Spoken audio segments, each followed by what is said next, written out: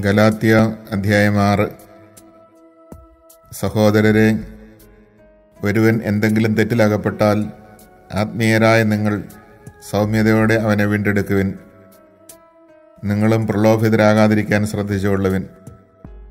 പരസ്പരം ഭാരങ്ങൾ വഹിച്ചുകൊണ്ട് ക്രിസ്തുവിന്റെ നിയമം പൂർത്തിയാക്കുവിൻ.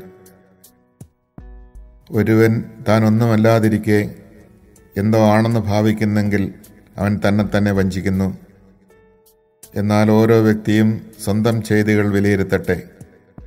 അപ്പോൾ അഭിമാനിക്കാനുള്ള വക അവനിൽ തന്നെ ആയിരിക്കും മറ്റുള്ളവരിലായിരിക്കില്ല. എന്തെന്നാൽ ഓരോരുത്തരും സ്വന്തം ഭാരം വഹിച്ചേ മതിയാവൂ.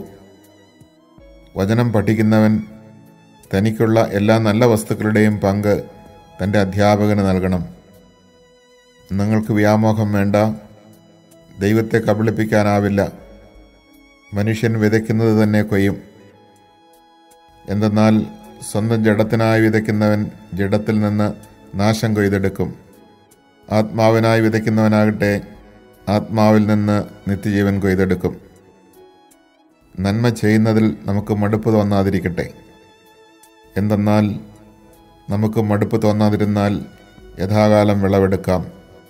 ആകയാൽ നമുക്ക് അവസരം ലഭിച്ചിരിക്കുന്നത് കൊണ്ട് സകല മനുഷ്യർക്കും പ്രത്യേകിച്ച് വിശ്വാസത്താൽ ഒരേ കുടുംബത്തിൽ അംഗങ്ങളായവർക്ക് നന്മ ചെയ്യാം.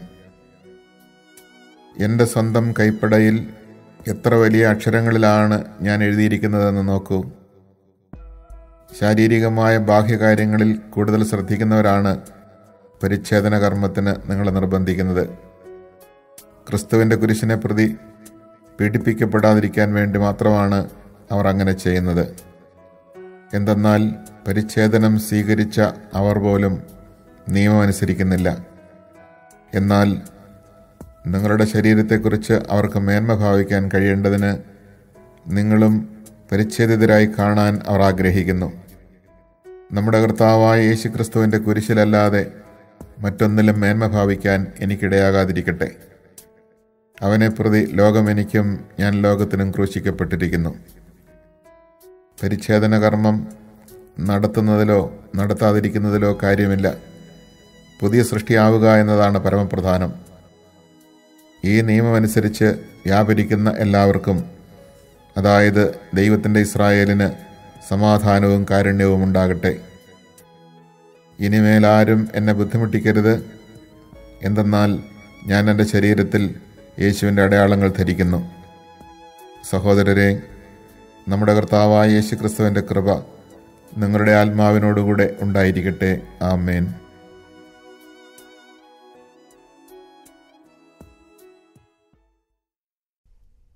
Chapter 6 Brothers, even if a person is caught in some transgression, you who are spiritual should correct that one in a gentle spirit, looking to yourself, so that you also may not be tempted. Bear one another's burdens, and so you will fulfill the law of Christ. For if anyone thinks he is something when he is nothing, he is deluding himself. Each one must examine his own work, and then he will have reason to boast with regard to himself alone, and not with regard to someone else, for each will bear his own load. One who is being instructed in the Word should share all good things with his instructor. Make no mistake, God is not mocked, for a person will reap only what he sows. Because the one who sows for his flesh will reap corruption from the flesh, but the one who sows for the Spirit will reap eternal life from the Spirit. Let us not grow tired of doing good, for in due time we shall reap our harvest, if we do not give up. So then, while we have the opportunity, let us do good to all, but especially to those who belong to the family of the faith. See with what large letters I am writing to you in my own hand. It is those who want to make a good appearance in the flesh who are trying to compel you to have yourselves circumcised, only that they may not be persecuted for the cross of Christ. Not even those having themselves circumcised observe the law themselves. They only want you to be circumcised, so that they may boast of your flesh. But may I never boast except in the cross of our Lord Jesus Christ, through which the world has been crucified to me, and I to the world. For neither does circumcision mean anything, nor does uncircumcision, but only a new creation.